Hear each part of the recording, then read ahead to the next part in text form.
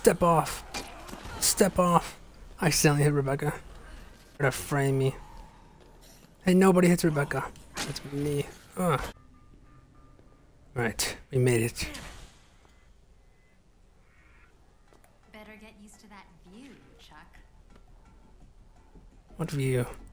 Doors being locked? Cute. I'll open it. have to do everything for you.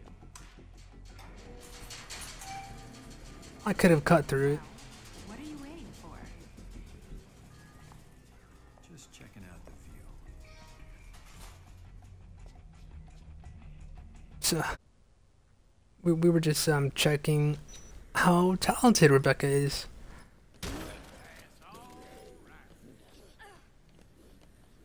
Come on, Doris. Doris.